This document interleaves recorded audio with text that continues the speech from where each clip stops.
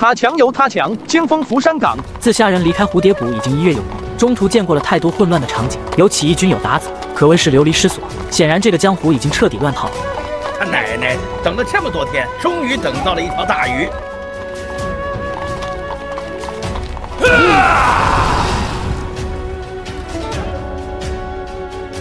我等乃是燕云镖局总镖头宫九家手下镖师，镖局势力遍布天下。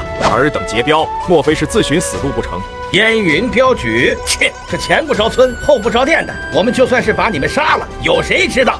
大哥，咱们跟他废什么话？镖局送的东西一定很值钱，直接宰了他们。如今兵荒马乱，你们燕云镖局自己都泥菩萨过河了，还有心思找我们寨子的事情？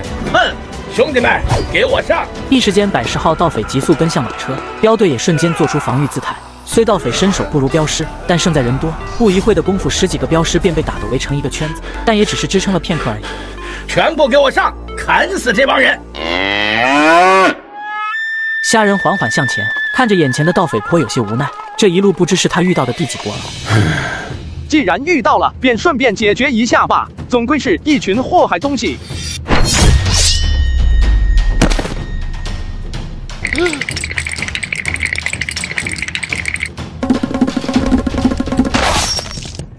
好功夫，就是好兵刃。多谢两位少侠相助，在下燕云镖局林勇，不过是路见不平罢了。敢问两位少侠尊姓大名？在下也好铭记两位的大恩大德。便叫我张三吧。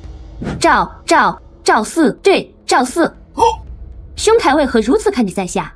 哦，不是，只是你和我尼古拉斯的一个朋友同名，有些惊讶罢了。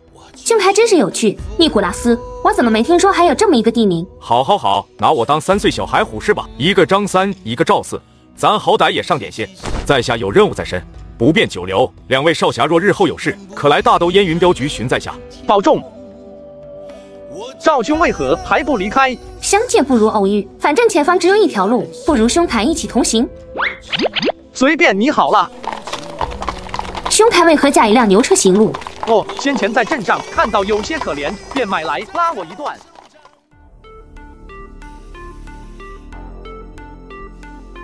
说话怎么都不说了？如今我峨眉派已听见，若入贼人之手，我们却连这人是谁都不知道。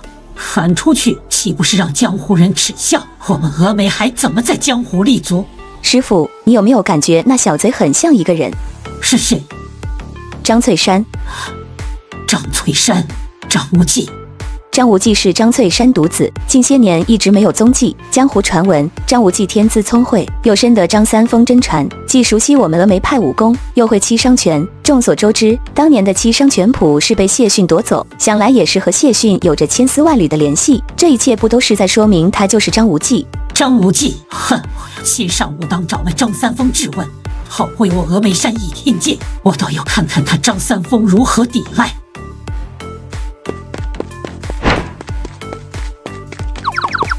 张兄，听声音内功修为不弱，只是和我们中原地区颇有些不同，自是外邦之人。莫不是那高丽人？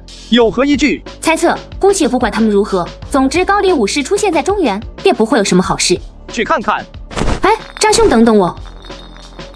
怎么还没有来？前辈稍待片刻。那人自视甚高，说是自己一人前来，便绝不会带人。只是此人轻功甚好，还需前辈出手。哼，你们中原的武功不过如此。今日且叫你们见识一下我高黎青龙派的绝世神功。是是是，前辈武功绝顶，青龙派更是冠绝天下。还请不要忘了答应我们帮主的事情。对高黎此等小国帮派，竟如此卑躬屈膝，当真是不嫌害臊。结结结！想不到三江帮竟如此龌龊，勾结藩邦之人，更是此等下贱姿态，真是罕见。装神弄鬼！我帮帮主李三江乃是识的大体，又岂是你一个臭蝙蝠可以污蔑的？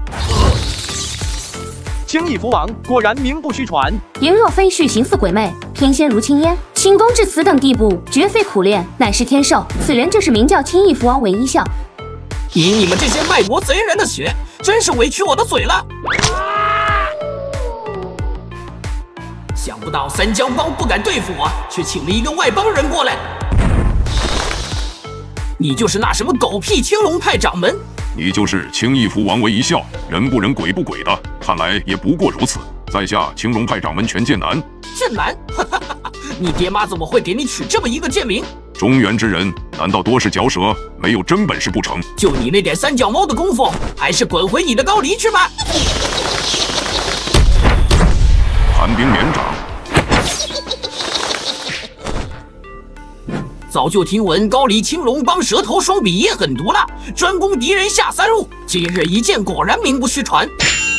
你，看来纵然你们再多的人，不过都是些废物而已。废物，全是废物！你们高黎人都是废物！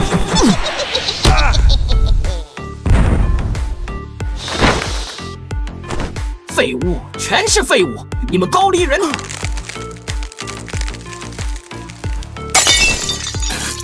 大意了，连续使出寒冰连掌，导致寒毒再次发作。早知道，韦 一笑，你修炼邪功早该如此，受死吧！精彩，太精彩了！轻易福王千功绝顶，在下佩服之至。此人竟能够在自己眼皮子底下不被发现，内功必然浑厚无比。若是敌人，只怕是我命休矣。